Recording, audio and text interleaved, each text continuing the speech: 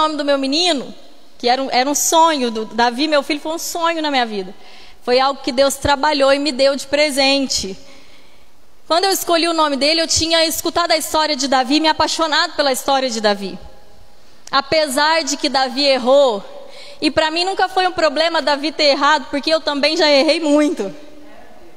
O problema todo é que a gente julga a vida de Davi sem olhar no, os nossos erros.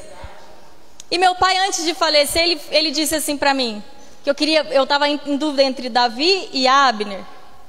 E um, um, belo dia, conversando com meu pai, eu disse para ele assim: Pai, se um dia eu tiver filho, eu tenho dúvida entre Davi e Abner. Ele falou: Olha, gosto da história de Davi e gosto da história de Abner. Gosto da aliança que Abner fez.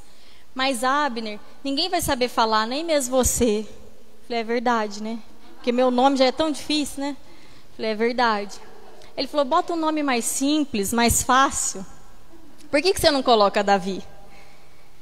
Meu pai aceitou Jesus comigo. Num dia faleceu, dois dias depois. E aí, dois anos depois, eu engravido de Davi. E eu já sabia que era um varão, porque Deus havia falado comigo que ia me dar um filho varão. E era meu sonho ter um filho varão. Aí eu escolhi o nome, disse para o meu marido assim: ó, se for menina, você vai escolher. E se for menino, eu escolho. Amém? Porque, né, eu já sabia que o nome que eu queria era Davi, para não correr o risco do meu marido Juninho escolher um outro nome, né? Porque ele queria um nome muito. Falei, não, tem que ser coisa simples. Aí, quando eu escolhi, eu disse assim: que satisfação escolher o nome. Agar não teve isso. Porque ela era escrava, o filho não seria dela, ela não cuidaria do filho, ela amamentaria até ele desmamar e nessa época era na idade de três anos, o filho não seria dela, como que ela colocaria esse nome? Aí a gente quer explicar milagre, né? A gente acredita que ela deve ter, né, mulher, contado para Abraão. Mas não dá tempo. Porque quando ela volta para casa, ela volta para aquele recomeço porque Deus, quando Ele tira a gente da escravidão, Ele nos tira com carta de alforria. E ela estava fugitiva. E Deus, Ele não mancha o nome de ninguém, Ele não mancha nada. O Senhor, Ele é limpo e Ele não compactua com o que é errado. Então o Senhor estava falando para Agar assim: volta, fica lá, aguenta firme lá, porque no tempo que eu te tirar de lá, você nunca mais vai voltar para lá, porque você vai ter carta de alforria. Aí a Bíblia diz que agora ela volta. Ela volta, ganha um menino. E quando ela ganha o um menino, Abraão pega. Aí agora Abraão sai na frente da face do povo, que o povo era curioso, é só hoje não, naquela época também, irmãs. Naquela época o negócio era feio. O povo está tudo curioso para saber qual é o nome do menino. Imagina Agar, pastor, que não pôde escolher e o anjo visitou ela e falou para ela que ia ser Ismael vivendo promessa, sem saber como e quando vai acontecer. Aí a Bíblia diz que agora Abraão levanta o menino, apresenta ele para o povo e diz assim: já tem um nome. E aí o povo curioso para saber qual era o nome. Todo mundo lá só na, na expectativa. E eu imagino o coração, né? Coração de Agar, falando: ai meu Deus, não, não posso escolher nem o nome. Aí a Bíblia diz que quando ele levanta o menino, ele diz assim: vai ser Ismael. Maior confirmação de um milagre é quando Deus traz à tona para mim para você que Ele é Deus e Ele nos conhece. Ele sabe o momento certo de agir, o momento certo de entrar. Eu não sei como você chegou aqui hoje, mas Deus me trouxe como boca do Senhor para dizer: Ele vai agir pela tua causa, Ele vai entrar na tua casa, Ele vai fazer reboliço porque Ele é Deus. Deus está transformando situações na tua vida, na tua casa, só porque você está aqui glorificando o nome dele. Aí a Bíblia diz que agora o tempo passa e Sara agora vai cuidar de Ismael, porque o filho era dela, não era de Agar. Agar só gerou, foi uma barriga de aluguel. E agora, Ismael está na idade de 13 para 14 anos. O tempo passou. Sara já está de idade avançada e Abraão também. A Bíblia diz que agora Sara está grávida. Pastora, de que jeito? Desse jeito que você está pensando mesmo, depois de coabitar. Mas sem a menstruação, sim, porque o milagre, quando Deus faz, Ele usa qualquer situação. Aonde tem esterilidade, o Senhor traz vida, porque Ele é fiel. E agora Sara está grávida, está gerando filho da promessa, barrigão crescendo.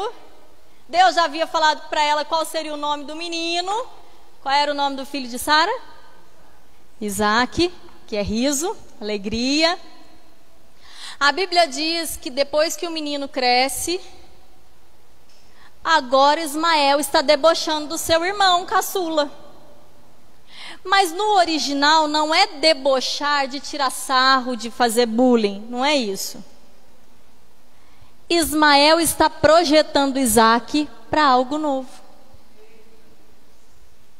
Para o recomeço de uma história nova.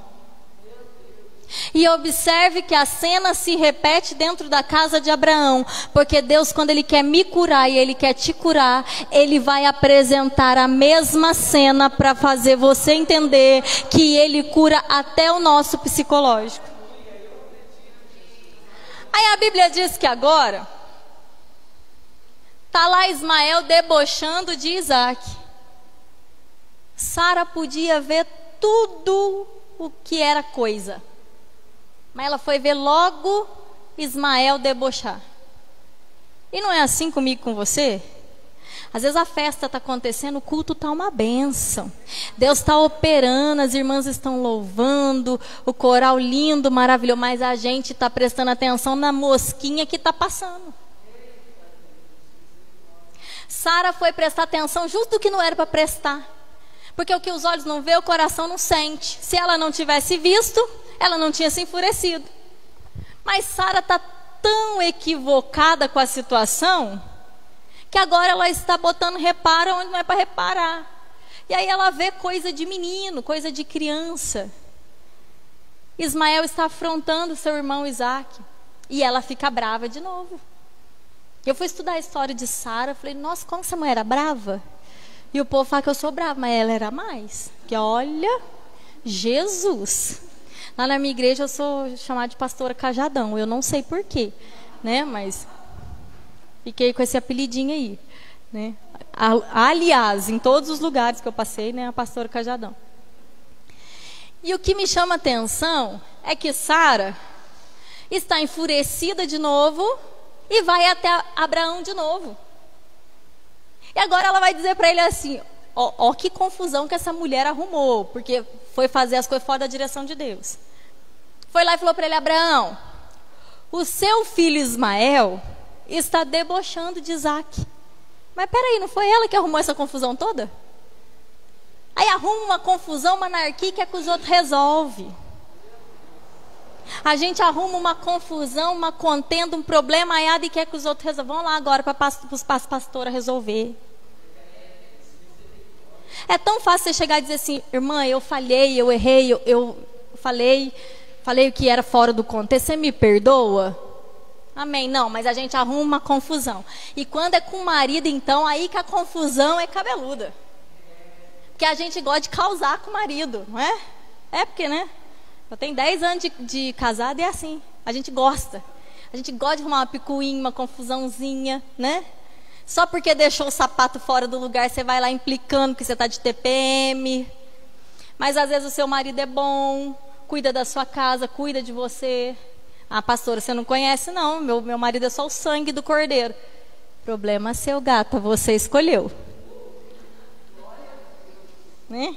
Meu pai dizia assim: cada um tem aquilo que merece. Né? Você que escolheu o bonitão, agora carrega a cruz e vai, ó, marchando no caminho de Jesus, né? Leva a sua cruz aí, porque, ó. A Bíblia diz que ela agora está lá enfurecida, brigando com Abraão de novo. E eu, eu imagino, isso daqui também é conjectura minha. Abraão olhando para ela com aquela cara assim, ó, porque marido nunca entende a gente, eles ficam numa caixinha do nada, eles não, né? Olhando para ela dizendo assim: "O que que essa mulher tá arrumando agora?" É ou não é? Porque, irmãs, vou, vou confessar um trem para vocês. Eu tenho mania de tapuer. E a minha tapuer tem que ser tudo organizadinha. Que eu tenho toque. E os meus copos não pode tirar fora do lugar. E a bênção do meu marido que eu escolhi, né? Escolha foi minha. Muito bom, mas veio com defeitinho também, né? Toda vez que ele vai guardar minhas tapoeiras, ele guarda tudo errado. Ele guarda a quadradinha junto com a redondinha. E eu não gosto. E são dez anos eu atrás dele andando, falando assim: Você viu que a minha tapoeira está ali fora do lugar? Vai perder, depois a gente não acha. Que a gente gosta de implicar, não é? Fala para a irmã assim: quem precisava ouvir não veio, né? A gente gosta de implicar. O copinho, eu gosto assim, os copos tem que ser tudo na mesma direçãozinha, para ficar fácil para pegar depois. A organização agiliza, né, a vida da gente. O bonito do meu marido vai lá e põe os copos tudo errado. Aí a bonita aqui vai lá e organiza tudo de novo. Mas é claro que eu vou lá implicar com ele, né? Às vezes eu até chamo, falo, Juninho, vem cá. Deixa eu te mostrar um negócio aqui. Aí eu, ó, capacidade, ó, Sara.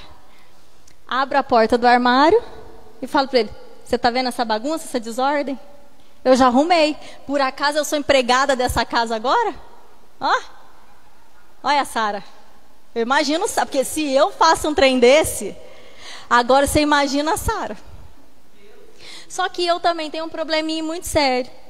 Eu, quando eu chego em casa, eu deixo meu sapato na sala. E ele vai lá, pega e guarda. E nunca chamou eu e falou para mim assim: olha aqui o seu sapato na sala. Mas Sara, né? Vamos falar de Sara, porque senão. Sara está causando. Você está entendendo? Sara está ali, ó. Mas também você deitou com Agar, Agar gerou filho, Agar começou a me menosprezar, foi para o deserto, voltou. Eu imagino Sara falando: Agar não sabe o que, que ela quer. Agar nunca sabe o que, ela quer. Só que Deus, para nos tirar da zona de conforto, Ele vai trazer uma Agar para melhorar o nosso caráter. Aí tem gente que a gente olha e fala, Jesus Cristo, essa irmã de novo. Sim, vamos amar essa irmã de novo. Né? Que a Bíblia diz assim, que a gente, nós mais velhas, não estou falando de idade, de casa, de tempo na casa do Senhor, temos que ajudar as mais novas. Ensinando. E novo na fé é bom de mexer. Porque acabou de aceitar Jesus, então tá deslumbrado. Mas crente velho é um problema, né? Aquele crente que viveu muito tempo na casa do Senhor, Tiranossauro Rex, como diz meu filho, Tiranossauro Rex na casa do Senhor. Aí Deus dá uma bênção aqui, outra acolá, porque Deus não pode dar tudo de uma vez, porque ele faz uma coisa certa aqui, se enche da presença do Senhor aqui, mas quando chega em casa, Deus conhece ele ou ela. Deus sabe quem é. Porque quem conhecia Abraão era Sara. Eu li um livro que diz assim: Abraão, o marido que Sara conhecia e a igreja não. Porque quem conhece nosso marido é nós, né? A igreja não pode deixar transparecer, né? A gente chega aqui linda, sorrindo, maravilhosa. É claro que tem dia que você chega emburrada, né? Que a TPM às vezes, né? E lidar com mulher, né não? Espírito Santo da verdade, né? Mulher, uma coisinha que acontece, a gente já, né? Tch, é impressionante como que é mulher. Ó, Sara. Vamos falar de Sara, não vamos falar de nós, não. Olha a Sara. Implicando com Abraão. Falando para ele assim, ó. Ismael. Disputando, você tá entendendo? Disputando. Deixa eu ver se a sua roupa tá mais bonita que a minha. A, a minha voz hoje, eu comi maçã, tá melhor, né? A conjectura minha foi melhor. Eu limpei a igreja melhor. A disputa. Porque duas mulheres no mesmo território não dá, imagina um monte. Irmãs, eu tomo conta de 28 irmãs. Você imagina? Que benção. Maravilha. Um pé de boi, minhas meninas. Mas quando dá também para sair faísca, olha, você sai de perto que sai faísca para tudo quanto é lado. Só de olhar uma para a cara da outra já tá aquela. Calma, irmã, vamos para oração, vamos voltar na madrugada, no jejum. Porque crente que se relaciona com obra não tem tempo para picuinha, né? Quanto mais perto da casa do Senhor, menos problema com picuinha a gente tem. Agora Sara está lá causando com Abraão, dizendo para ele assim: pega ela e despede ela, manda ela embora. Quer essa mulher que não. Olha, Sara. Haja vista que ela olhou Agar no início, achou Agar bonita, porque ela era uma mulher muito bonita, falava muito bem. Ela disse: Vou trazer para dentro da minha tenda para ser concubina. Aí agora ela não quer mais. Porque a gente é assim. Tem dia que a gente quer e tem dia que a gente não quer. Tem dia que você vem para casa do Senhor dizendo assim: Hoje eu vou e vou ajudar na obra, eu vou fazer, vou... vai ser bênção. Tem dia que você vem e vai, ai, Jesus, de novo, tem que ir. Mas o senhor falou que ia salvar e até hoje o senhor não salvou. O senhor falou que ia tirar meu filho das drogas e até hoje o senhor não tirou. O senhor falou que o meu casamento ia ter algo novo e até hoje não teve. Aí tem dia que a gente quer e tem dia que a gente não quer. E com o nosso marido também a gente é assim. Não sei por que Deus está falando de marido. Tem dia que a gente olha e fala, que bênção de homem, olha que, que gato, Jesus. Mas tem dia que você olha e fala: sangue de Cristo tem poder. Onde que eu fui arrumar essa cruz? Eu não sei, amada, onde você arrumou sua cruz, né? Mas dá uma ajeitada nela, né? Tá gravando, não, né? Tá? Ah, meu Jesus, eu, eu, ainda bem que eu não falei, que eu ia falar, ia falar de uma intimidade aqui que não, às vezes não, né? né? Você que bota sua roupinha do deputado, né, com a cara do deputado, quer viver algo novo. Não se arruma para o seu marido. É bom que agora não falo tão rasgado, né?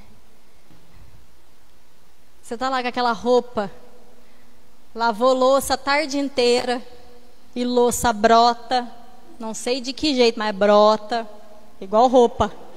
Sangue de Cristo tem poder. O marido às vezes chega em casa, ao invés de você esperar o bonitão chegar do serviço, dar uma acalmada no ânimo, né? Porque a estrutura do homem é diferente da nossa, você já chega descarregando os problemas. Com o cabelo tudo pra cima. Olha que gata nós, né? Ah, vai dizer que é só lá em casa que é assim, com o cabelo tudo pra cima. Cabelão tudo pra cima. Lavou louça a tarde inteira com aquela camisetinha que só Jesus sabe que você usa, com a face do deputado. Aí seu marido chega e você vai despencar os problemas nele. Não perguntou nem se o dia dele foi bom. Ó Sara causando. Dizendo para Abraão: manda essa mulher embora. E leva o menino junto. Observe que ela queria o menino, agora já não quer mais o menino, porque ela já conseguiu o que ela queria. Quantas e quantas de nós conseguimos uma benção na casa do Senhor e às vezes nem voltamos para agradecer? Sabe por quê? Porque é típico, o ser humano é assim. Quando você quer uma porta de emprego, você está na casa do Senhor orando, buscando, fervorosíssima. Quando você quer que Deus muda marido, muda filho, tudo que você quiser, você vai dedicar. Aí quando Deus nos dá, a gente começa a afastar. E dizer assim: ah, mas agora Deus já fez. Mas foi falado aqui no início do culto, e eu ouvi muito bem, sobre gratidão. E a gratidão revela o nosso caráter. Porque quando a gente vem na casa do Senhor que a gente já tem bênção, a gente vem para agradecer e dizer, Senhor, obrigado pelo fôlego de vida, obrigada porque no meio dessa tribulação, dessa pandemia, nós estamos vivos, com saúde, temos comida na mesa, isso é gratidão, isso você está revelando o seu caráter e dizendo, Senhor, eu sei quem o Senhor é, eu sei em quem eu tenho crido, eu sei que, da onde o Senhor me tirou. E agora Agar vai para o deserto. Porque Abraão vai consultar o Senhor, ele vai orar, e o Senhor diz para ele assim: é bom esse negócio. Mas também Deus, vai, vai entender Deus que jeito. Uma hora é para voltar, para ficar debaixo da mão da sua senhora. Outra hora Deus está dizendo para ele assim: ó, é bom esse negócio, dá pão e dá água. E manda ela ir. E leva o menino. A Bíblia diz que ela pega a mão do menino e sai para o deserto com o aval do Senhor. Sabe por quê? Ela era uma escrava. Só que para mandar ela embora, quando Abraão foi consultar o Senhor, o Senhor falou para Abraão assim: Mas e a carta de alforria dela? Porque agora ela não vai poder ser escrava mais. Se está mandando ela embora, libera ela com carta de alforria. Porque o menino era menor, não podia ir embora sozinho. Sara, para se ver livre dela, penso eu comigo que Sara falou assim: assina esse trem logo. Eu, eu, eu imagino Sara igual a princesa Isabel, ó, assinando a, a lei áurea, abolição da escravatura. Assinando e dizendo: ó, libera essa mulher logo, libera esse menino logo, porque eu não vou dividir herança com ninguém, meu filho não vai dividir herança com ninguém. Aí agora ela está indo com a carta de alforria, não é mais escrava, para o deserto. E ela vai para um lugar que não tinha água. Ela não viu a água. Porque ela tinha que andar 120 quilômetros. Ela andou 10, acabou a água. E acabou o pão. Então, quando ela chegou, num determinado ponto, porque ela queria voltar para o lugar de origem. Quando ela chegou naquela situação, ela disse assim: Meu filho vai morrer. E para eu não ver ele morrer, eu vou deixar o menino aqui e vou sair num tiro de flecha. E agora ela saiu, se retirou e o menino ficou lá. Sol escaldante. Os estudiosos dizem que naquela época o sol estava queimando a 50 graus. E essa mulher com um filho pequeno, adolescente, no meio de um deserto. Para sua irmã diz assim, irmã, não, fala que vai de profeta, fala, fala dormindo, não, fala, irmã, quando Deus vai mudar a história, primeiro tem deserto. Aí você não entende o deserto que você está passando, a solidão que você está passando, a tristeza. Às vezes não tem ninguém para orar com você, às vezes não tem ninguém para te ajudar. Mas é Deus te levando para o deserto para fazer você viver algo novo. A Bíblia diz que agora ela se retira para não ver o menino morrer. O anjo aparece para ela de novo. Porque Deus ele é estratégico em nos tirar de situações complicadas. Aí quando o anjo apareceu para ela de novo, falou para ela: pega na mão desse menino, deu pão e deu água, e diz para ela: para o lugar que você vai, você nunca mais vai voltar e você não vai ser mais escrava. Ele estava dizendo assim: Olha, você vai ser mãe de um homem que vai ser um flecheiro e vai ser um povo grande na face da terra. Porque Deus ele transforma a maldição em bênção. Deus ele é especialista de entrar em lugares onde eu e você não conseguimos entrar mais. A Bíblia diz que agora o menino já está adulto e ela faz ele casar com uma egípcia, o seu lugar de origem. Faz ele constituir uma família, porque ela tinha carta de alforria. E essa noite eu quero crer que Jesus está assinando carta de alforria. Eu não sei qual o problema que você estava enfrentando, mas o Senhor está assinando uma carta de alforria dizendo: você não vai ser mais escrava disso, você não vai mais ser escrava desse pecado. Você tem carta de alforria. Essa noite o Senhor está dizendo: estou te libertando de maldição hereditária, de coisas lá de trás que te machucaram, de palavras contrárias contra a sua vida, de pessoas que olharam para você e disseram: a sua chamada não vai acontecer, você não vai ser feliz nesse casamento. O Senhor está dizendo: eu estou assinando carta de alforria. Você não é mais serva, você é amiga do Senhor. Gratidão vai revelar o seu caráter. Cadê as meninas que estavam louvando? Eu não enxergo muito bem. É você? Nossa, vem cá, gata. Cadê a outra? Tinha mais um, tinha? Vem cá, gata, você também.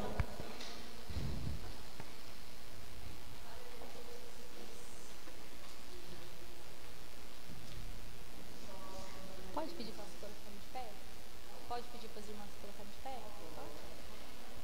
Eu queria que as irmãs colocassem de pé em nome de Jesus.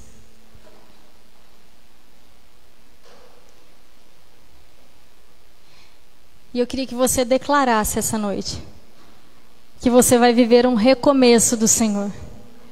Que esse deserto não serviu para te matar. Esse deserto não serviu para que você parasse. Esse deserto serviu para que você recomeçasse e vivesse algo novo da parte do Senhor. Vocês louvam para mim o algo novo? Fazendo um favor? Porque eu não louvo, a minha voz é de taquara rachada. E aí, se eu for louvar aqui, né, às vezes. Coloque a mão no seu coração essa noite.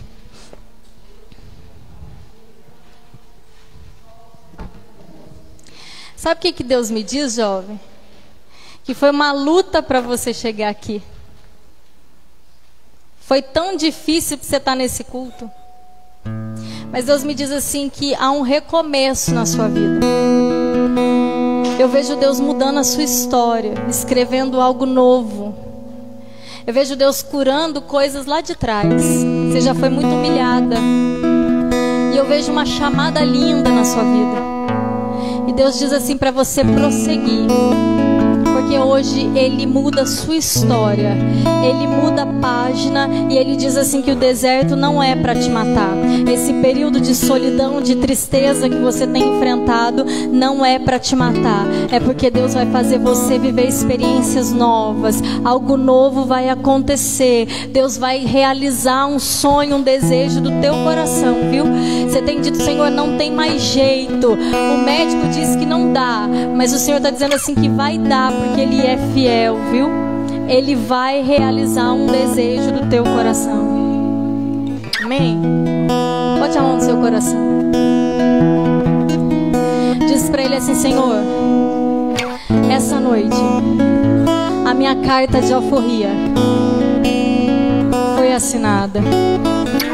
Eu rejeito tudo que o inimigo tem tentado, tem tramado para eu viver algo novo. Algo novo na tua casa. Algo novo na minha vida, no meu serviço. Algo novo no meu casamento. Algo novo com os meus filhos declara para o inferno ouvir que você vai viver algo novo, que Deus está trazendo à tona a tua chamada, que Deus te levou para o deserto só para mostrar que Ele é Deus na sua vida, porque algo novo está acontecendo, há um recomeço essa noite, porque o Senhor Ele é fiel e Ele já venceu essa guerra por mim e por você.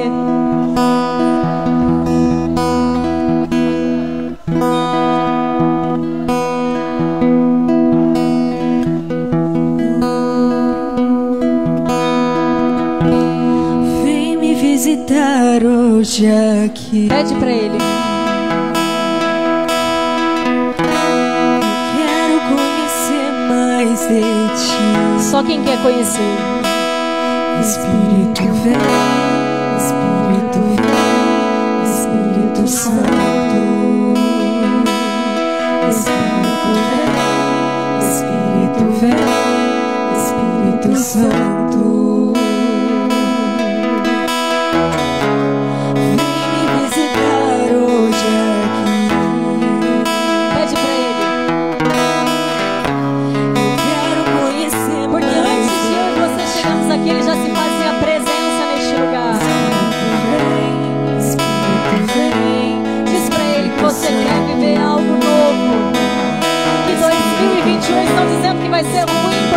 Pandemia, mas declara como igreja do Senhor que nós vamos viver o sobrenatural. Eu quero viver algo novo. Declara para o inferno você tem uma promessa. Faz meu coração arder de novo.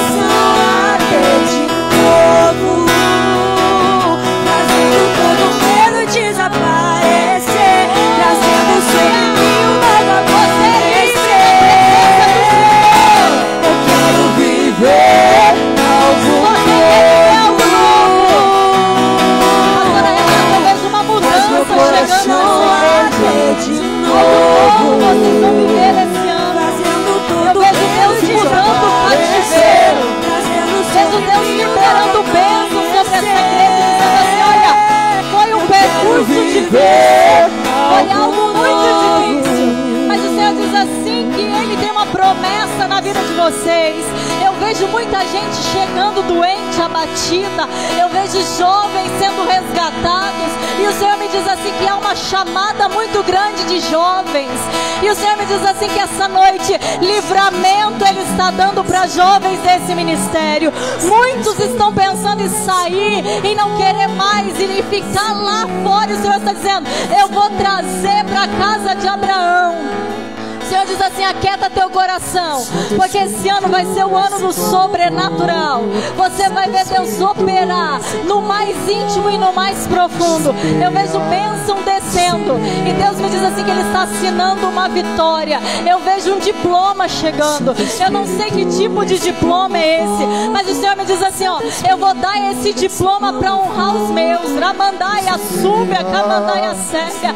Eu vou dar diploma, porque um dia duvidaram, né? Baia, Súbia, Camandaia, Sai. Um dia disseram que a casa estava findada ao fracasso. E Deus me diz assim: vou colocar no fórum, Ramandaia, Súbia, vou colocar para assinar coisas impossíveis. Porque Deus, Ele é fiel e Ele vai cumprir todas as promessas na vida de vocês. Incendeia, Declara Ele que você quer ser incendiado essa noite. Espírito, desce como fogo. Santo Espírito, desce como fogo. Incendeia, incendeia. Incendeia, ele. incendeia.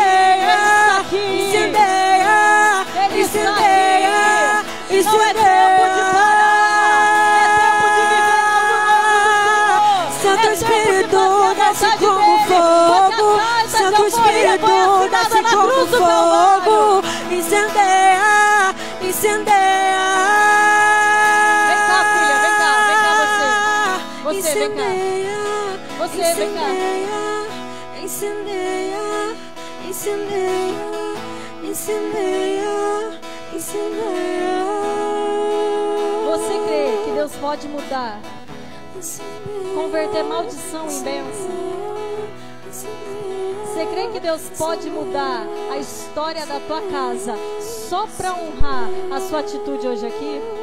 Porque eu vejo uma espada de justiça descendo na tua casa, Ramandai a súbia. E Deus me diz assim, filha, tô visitando os teus, fazendo reboliço. Porque um dia falaram que ia ficar na sarjeta, um dia falaram que a tua casa não ia ser bênção. E o Senhor me diz assim: olha, Fala para ela que eu estou convertendo maldição em bênção. Que quando você chegar naquele lugar, algo novo está acontecendo. Deus me diz assim, filha, estou mudando a história.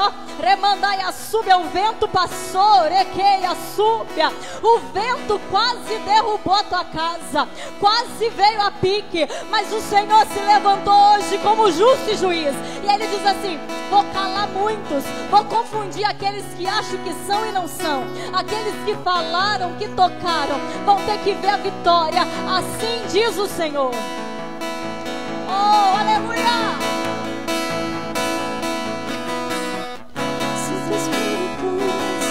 Ele é fogo consumidor. Pede para ele te incendiar. Pede para ele marcar a tua história hoje. Diz para ele, Senhor, eu quero viver algo.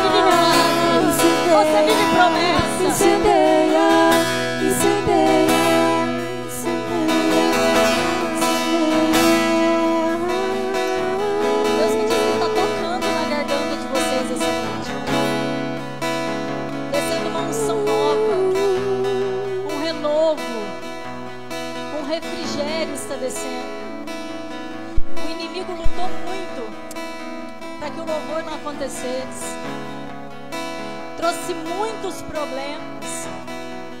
E Deus diz assim que essa noite Ele está descendo um refrigério. Algo novo vai acontecer na chamada de vocês. Eu vejo uma equipe maior. Eu vejo um povo novo. Vivendo algo novo. Deus realiza sonho, Ele conhece o seu íntimo. E Ele sabe que quando o homem põe um ponto final, Ele é especialista para colocar uma vírgula e dizer que algo novo vai acontecer. Aonde você diz, Senhor, não tem jeito. Não dá. O Senhor diz que Ele está pondo um ponto e uma vírgula e dizendo assim: continua. Porque algo novo vai acontecer. E muitos vão ver.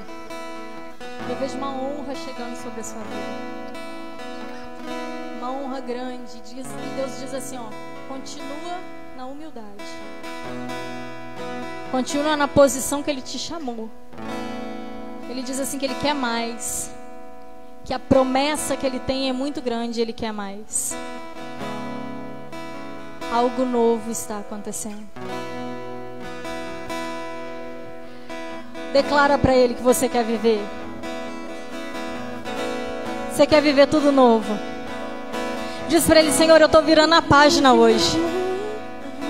Eu já fui Agar que andei errante no deserto. Tive que voltar. Mas agora eu tenho carta de alforria. Então me faz viver algo novo.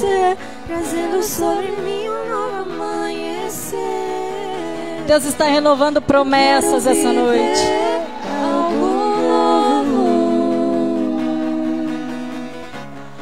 Faz meu coração arder de novo. Eu vejo casamento acontecendo nessa igreja. Desaparecer. Labra sube a camandaia séria.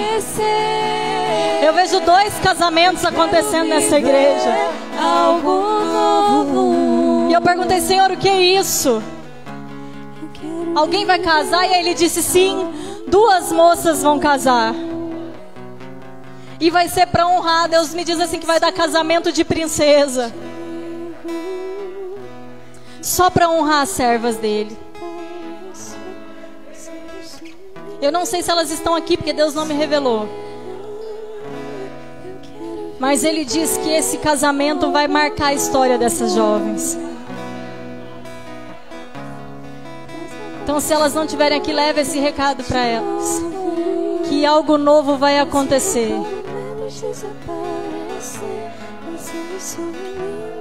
Eu quero ser boca do Senhor e dizer que esse ano vai ser o ano dessa igreja.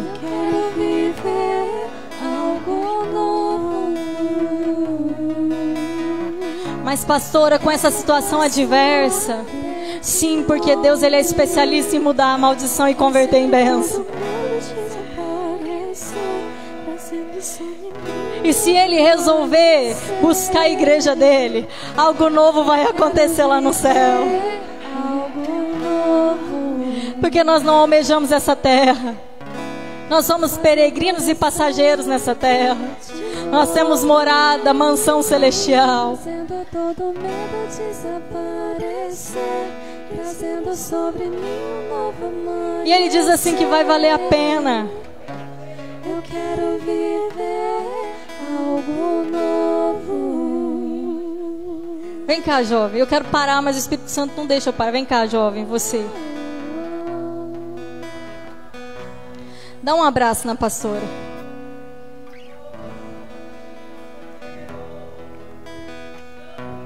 O abraço tem poder de quebrar as candeias.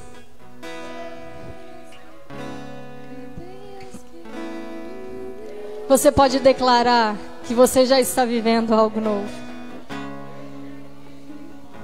Que vai valer a pena toda essa aflição, toda essa tristeza que você passou, esse deserto, mas que o Senhor está virando a tua página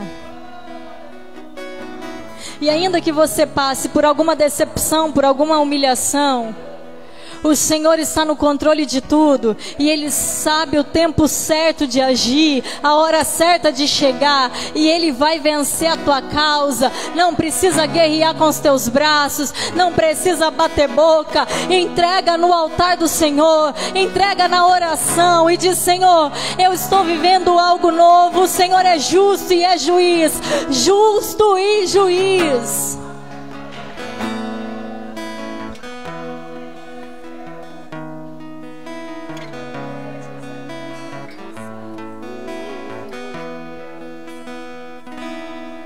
Vou entregar o microfone. Irmãs, eu não tinha nada para ser crente. Uma que eu não queria. Nada. Eu sou nascida numa cidade pequena, de pai alcoólatra. Minha mãe é uma empregada doméstica, honrada. Pensa num pé de boi para trabalhar, é minha mãe. Minha mãe foi muito guerreira. Sustentou a nossa casa, sustentou a e a minha irmã. E graças a Deus, se a gente tem uma formação hoje, se a gente tem um caráter bom hoje, abaixo do Senhor foi ela que nos guiou. Com toda dificuldade, com todo problema. E a gente às vezes tem uma dificuldade de entender a mãe da gente. A gente tem uma dificuldade quando a gente é mais novo de achar que a mãe é controladora demais. Meu pai chegava em casa bêbado, batia nela, quebrava a casa inteira, fazia terrorismo que ia atacar fogo na casa. E era polícia na porta da minha casa. Eu nunca quis ser crente. Deus me tirou da minha cidade com 5 mil habitantes. Eu ganhei o curso de radiologia e eu vim para Itajubá para estudar. Eu fazia unha no salão de dia e trabalha, trabalhava de dia e estudava à noite. Só porque Deus tinha uma promessa de um dia mudar a história da minha casa. A minha conversão não foi fácil. Porque eu gostava de um carnaval. Tinha grupo de dança. Desfilava. Eu bebia demais. E o Senhor, quando Ele olhou para mim, eu até hoje não consigo compreender o que, que Jesus viu em mim para me tirar daquele lamaçal do pecado. Na minha cidade todo mundo dizia assim: não vai dar nada, Não tem como dar alguma coisa. Não tem jeito isso daí. Eu hoje uso meu cabelo cacheado e foi uma libertação. E às vezes as pessoas mexem comigo e dizem assim, pastor, por que, que a senhora não faz uma escova, fica tão mais bonita? Mas numa certa feita, um rapaz da minha escola disse para mim assim: Olha, Sabrina, até que você não é de tudo feia. O problema seu é o seu cabelo. E eu cresci com aquela rejeição, achando que o meu cabelo era o problema. Mas o problema não estava no meu cabelo, o meu problema estava no jeito que ele estava olhando para mim. E quando eu disse pro meu marido, eu falei para ele assim: Olha, eu vou cortar meu cabelo, eu quero meu cabelo curto. E eu quero cacheado de novo. E meu marido, ele sempre me apoia, ele diz assim: Pode fazer, faz lá, vai ficar bom, vai ficar bonito. E eu tenho muito cabelo branco. Eu disse para ele, vou pintar também, porque eu estou me sentindo que eu estou precisando dar um up aí. Aí ele, faz lá, tá tudo certo. Mas pastor, por que a senhora está dizendo isso? Porque Deus, quando Ele diz que você vai viver algo novo, Ele te tira de uma situação contrária e faz você caminhar entre príncipes e princesas. Se eu estou aqui hoje junto de vocês que são princesas do Senhor, foi porque um dia Jesus achou alguma coisa boa em mim e disse: Eu vou trazer de lá para cá e vou fazer algo novo. Quando eu chegava na minha cidade, meus amigos diziam assim: Não quero mais conversar com você, não, porque agora você é crente. Você é daquele povo lá que grita demais na igreja. E eu disse assim: Eu não quero ser crente porque crente grita aleluia, glória a Deus. Não gosto desses negócios, não. Falei também não quer botar saia, não. Não quer ter cabelo comprido, não quer nada disso. Aí me converti numa igreja, irmãos, que os crentes berra. Eu não entendi, falei, Jesus, tudo que eu não queria o Senhor fez. Mas sabe por quê? Porque Deus ele precisa quebrar o nosso orgulho. E aí eu paguei língua. E eu me lembro que eu comecei uma campanha para o meu pai parar de beber. Eu subia a monte, descia monte, subia a monte, descia monte, subia a monte, descia monte. Um belo dia ele disse para mim assim: Eu não vou beber mais. Foi na minha formatura. E eu fiquei feliz, mas eu não punha muito crédito, porque meu pai ele não tinha uma palavra muito firme. E aí, quando eu cheguei na minha cidade, que ele não estava bebendo, ele olhou para mim e disse assim: O Deus a qual você serve operou um milagre e me libertou do álcool, porque não era eu que bebia. E eu ainda sigo crendo que esse Deus opera maravilha e faz milagre. Foram processos, foram vontades de desistir porque eu costumo dizer para as irmãs, para os irmãos da nossa igreja, que o mundo não é ruim. O mundo não é ruim. Eu não sou hipócrita de dizer que o mundo é ruim. O mundo é bom. Se fosse ruim, a igreja estava lotada. O mundo é bom. O problema é que para onde ele te leva que é ruim. E essa noite o Espírito Santo está dizendo para você: decida para onde você quer ir. Quem compra o passaporte é você. Quando eu me casei, cheguei na minha cidade, uma amiga disse para meu marido assim: Mas ela te contou quem ela era? Que ela usava algumas roupas extravagantes, que ela dançava? Meu marido olhou para ela e disse assim: Ela nunca escondeu de mim quem ela era. Porque eu não me envergonho do meu passado. Eu envergonho da situação que eu vivi. Mas se eu não tivesse vivido tudo aquilo, quem sabe hoje eu não estaria na casa do Senhor. Deus curou o meu útero e disse que eu ia gerar. Eu tive uma infecção uterina que ninguém sabia de onde vinha. E os médicos cogitaram em tirar meu útero. E às vezes eu falava assim: eu não quero ser mãe. Mas toda mulher tem o desejo de ser mãe. Toda mulher que, que casa tem o desejo de ter uma família. Belo dia eu no culto, e eu não estava dando muita importância para o culto, porque era um culto normal. Já se fazia esse culto normal. Uma irmã chegou em mim e disse assim: missionário. Na época eu ainda era missionária, ela disse: missionário. Deus manda dizer que Ele está tocando no teu útero e vai te fazer gerar. Sabe quanto tempo passou? Cinco anos. Mas eu cria na promessa do Senhor. Meu filho tem três anos e quatro meses. Para a glória do Senhor, ele é a alegria da casa. Porque eu creio que Deus pode fazer algo novo. Então saia daqui com essa palavra que Deus vai fazer algo novo. Deus vai trazer à existência aquilo que não existe para provar que Ele é Deus.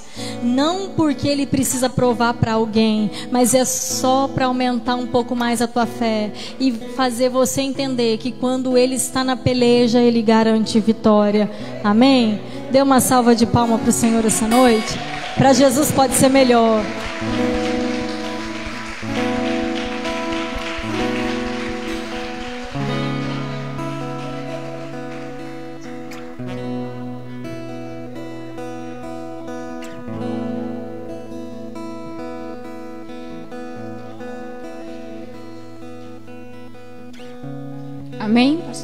Ficar aqui? Amém? Angélica já está aqui. E um ambiente maravilhoso de presença de Deus, de confirmação de Deus para nós mulheres, da importância do recomeço. Pode se sentar, queridas.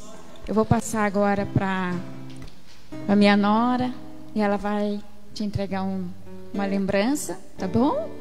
E vai orar por você. Amém?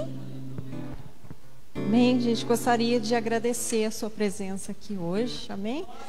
Amém.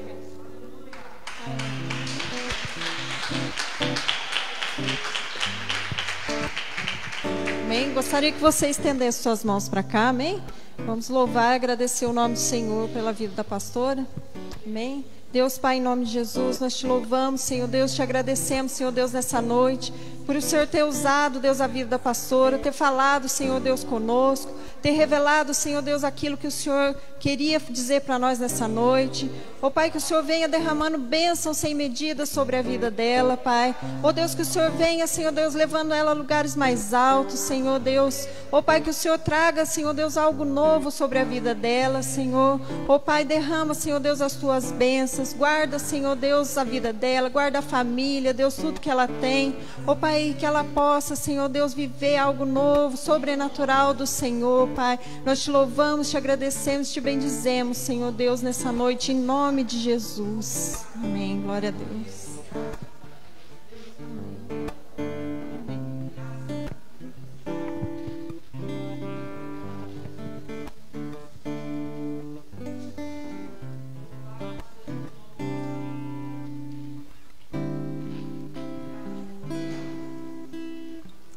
Amém? Pode colocar-se em pé. Nós vamos passar é, a nossa agenda amanhã às 9 horas. Nós temos escola bíblica. Amém? Todos estão convidados para estar aqui. E às 18 horas nós vamos estar com o culto da família.